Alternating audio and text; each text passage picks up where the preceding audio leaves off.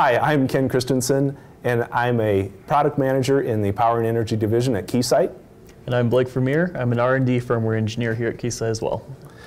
In the next few minutes, uh, Blake and I are going to give you an overview of the IntegraVision Power Analyzer.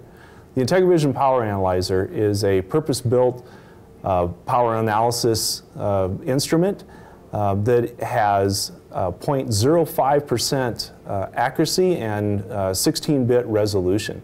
With this single instrument, you'll be able to see, measure, and prove the performance of your designs. First thing we're going to do is give you a tour of the connections on the back of the instrument. As we look at the rear of the instrument, the first thing you'll notice are the two power channels. Unlike an oscilloscope, a power analyzer power channel has both voltage and current connections. For the voltage connections, we use uh, banana plug uh, connectors. And this, these connectors are uh, up to 1,000 volts RMS. The current connections come in two varieties, either our direct connection or an, a BNC connection for external probes. The direct connection has both a 2 amp and a 50 amp uh, connection. Uh, then those go through a shunt that's built into the system. If you have currents that are higher than, uh, than the 50 amps, you'll move the slide down and you'll expose the uh, BNC connector for the external probes. And then as we circle around, we have both a trigger in, trigger out, and a 10 megahertz uh, clock signal. All of these are with an SMA connector. Uh, we deliberately made these different than the BNC connector so that you, didn't, you can't mistakenly connect um, a BNC to one of these other signals. And then finally, we have a LAN connection and a USB connection. With the LAN connection, you can actually use our remote front panel software to control the instrument um, from a distance. Um, if you have some type of concerns around safety, around either the current or the voltages, you can physically be further away from the instrument and still have uh, full control. So now let's move around to the front. When we look at the front of the IntegraVision Power Analyzer, the first thing you'll notice is the large 12.1 inch touchscreen display. We have voltage, current, and power all displayed on a single screen. You can see channel 1 is in yellow and channel 2 is in green.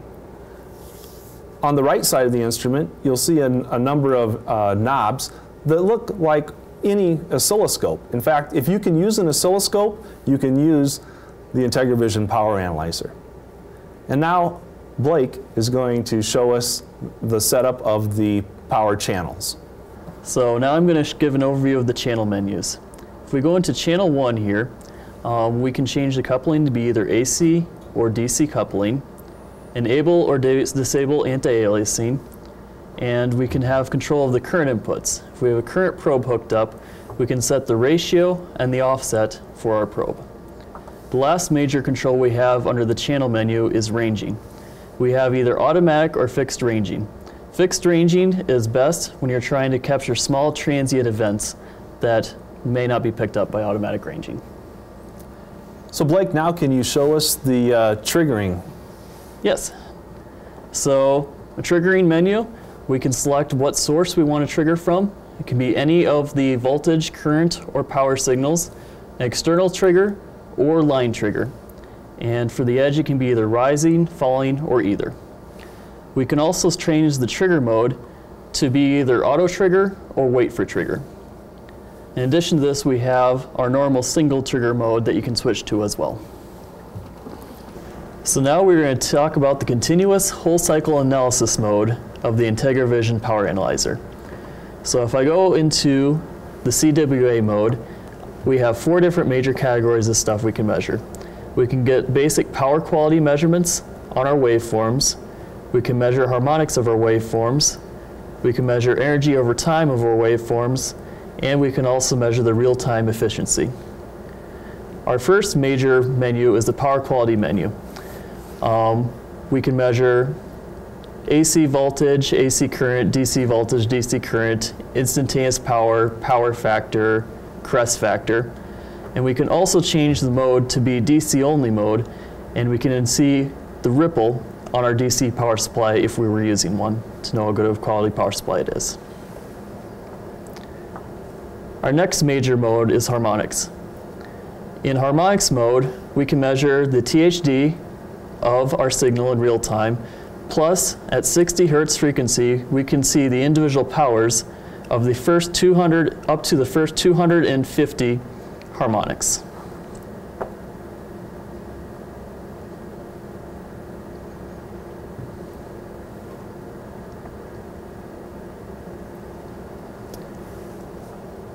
After our harmonics menu, the next thing we can do is energy measurements. In this case, we can set up how long we want to do our energy measurement for. Let's say I want to do it for 10 seconds. And I can start the measurement. And after 10 seconds, I will see how much power I consumed in that time. This can be configured up to as much time as you're going to possibly need for energy measurement. So our last major mode is efficiency. In this mode, we can measure instantaneous input power and output power and the real-time efficiency of our system. If our pre-built CWA modes don't meet your needs, you can build your own. If you go into the measurement menu, you can add your own CWA measurements for any of the channels and display the information that is most important for you. Another unique feature about the IntegraVision Power Analyzer is its ability to measure transient events. We have a DC switching power supply hooked up to IntegraVision Power Analyzer, and now we're going to try to capture its inrush current. So I've already set the display to be just displaying current. Now I'm going to go into the Channel 1 menu and set the ranging to fixed. This is important so we can capture the full peak of the inrush current. So I set the um, inrush to 50 amps and the voltage range is 200 volts. The next thing is I want to change the trigger to be triggering on current 1. I'm just going to change the slope to any and set the trigger level to a level that will appropriately trigger for this application. The other thing is too, is I adjusted the horizontal scale to be a little bit larger so I can easily capture the inrush current plus the steady state. So now I'm going to start single shot mode and see if we can capture it. There we go. So now we can see we had a huge inrush current and then gradually went down to steady state. If I go into the measure menu, I can see what the peak of the inrush current was, and I can use the cursors to measure the time of the inrush current event.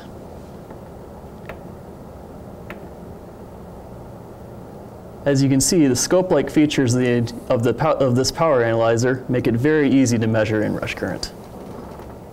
You've seen this brief overview of the IntegraVision Power Analyzer. With its easy connections and intuitive interface, you can quickly get to the insight into your designs. With this single instrument and its dynamic views, you can see, measure, and prove the performance of your design. Thanks for watching.